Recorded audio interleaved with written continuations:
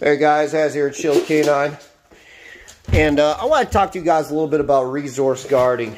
Preventing resource guarding. Dealing with resource guarding. Now, contrary to popular belief, resource guarding is not a learned behavior for the most part. It's primarily a genetic trait. Some dogs, some lines carry it a lot. Um, and no matter what you do, you'll see the puppies exhibiting that behavior towards their handlers, towards other dogs. Resource guarding is probably the most common reason that you see people getting bit. I, you know, I deal with a lot of behavior cases here, and by far is the most common situation um, for handlers to be bitten is, is in resource guarding. So I'm going to tell you a couple of things, okay? Resource guarding, like I said, is a genetic trait, but you know what makes it worse? Conflict. Conflict makes it worse. And you know how people cause conflict with their dog and food? They cause conflict by trying to fix the problem. They see a small thing, maybe the puppy's growling over the bowl or something. So you know what they do? They do stupid things like this. They do this kind of stuff. Oh, are you okay with me putting my hand in the bowl? Dumb stuff like this, right? Now, this dog doesn't have resource guarding.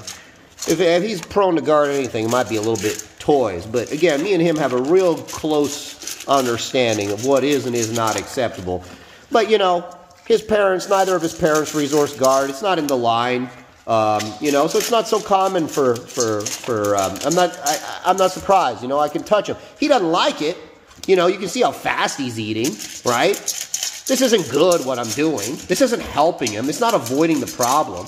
But I see so many people, they got a puppy that maybe is showing some stuff, whether it's with bones, toys, with food, and in their attempt to avoid the problem, they make it way worse because they're constantly putting their hands there, they're constantly trying to prevent the problem by, you know, getting the dog used to you touching, you know, his stuff, his food, his bone, his whatever. But you know what you're doing?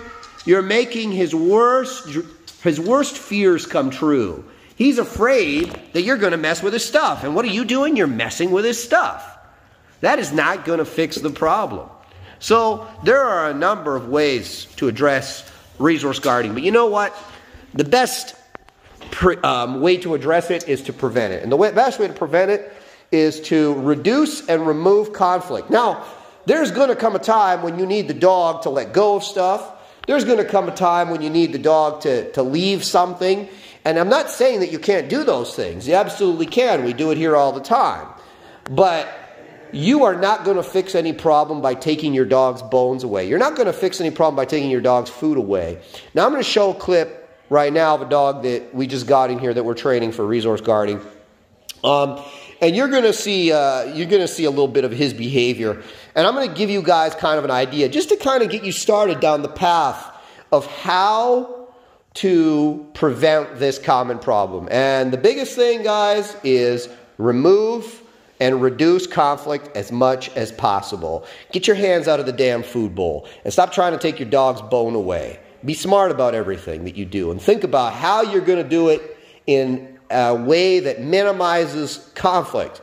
There's going to come a time when conflict is necessary, but if your dog's only interaction with you is conflict, well, you're going to be in for one hell of a journey. So, my suggestion minimize, reduce, and understand what you're dealing with. This dog here, I can put my foot, my hands in this food bowl. Doesn't it's not going to cause any problems. Now, if I, you know, a lot of people they think, oh well, I did that with five of my dogs and they weren't resource guarding. Yeah, do that with a dog that resource guards. See how well it works out for you.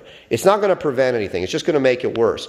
Anyways, watch this clip. Maybe it'll give you some ideas, and uh, I think I'll do something more comprehensive on resource guarding later.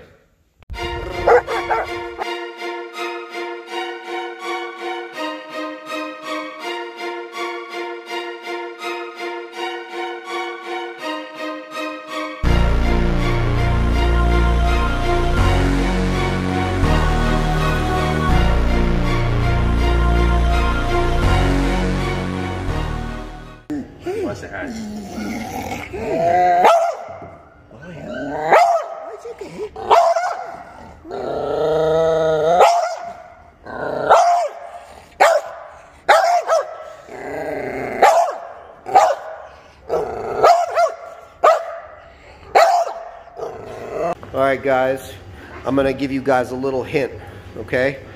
A lot of people, when they have a dog, their resource guards, their solution to the resource guarding is to mess with the dog forcing the dog to constantly give up what he's got.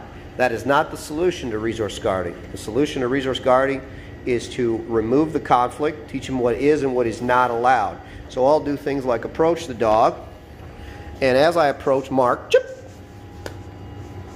throw a piece of food at the dog and leave. What do you think that's going to do to him? That's going to teach him that just because I'm approaching doesn't mean I'm approaching to take his thing away. All right, so I'm going to do it again one more time, and I'm just going to leave him alone. Chip. All right?